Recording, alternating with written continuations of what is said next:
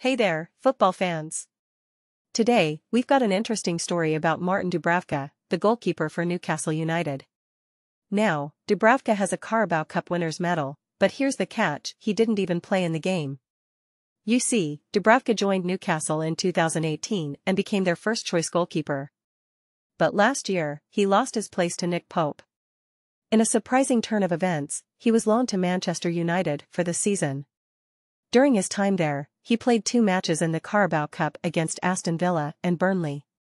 Now, here's where things get really strange. When Newcastle reached the Carabao Cup final, Dubravka couldn't play because he was cup-tied. But since he had played for Manchester United in the competition, he was entitled to a winner's medal when United won the cup. Talk about a bizarre situation. Dubravka admits it was a weird experience.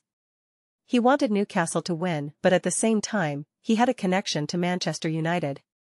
When United visited Newcastle later in the season, he was presented with his winner's medal in a small box. It wasn't a grand ceremony, just a quiet acknowledgement of his contribution. Despite this strange turn of events, Dubravka remains loyal to Newcastle. He considers it his home and appreciates the support of the fans. He knows winning the Carabao Cup with Newcastle would mean so much more to him and the club. The fans have been waiting for something special, and Dubravka wants to deliver.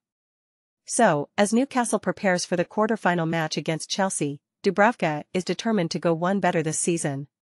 He knows it won't be easy, especially with injuries and a busy schedule, but he has the highest ambitions for himself and his team. Let's see if Dubravka can add another chapter to his unique Carabao Cup journey.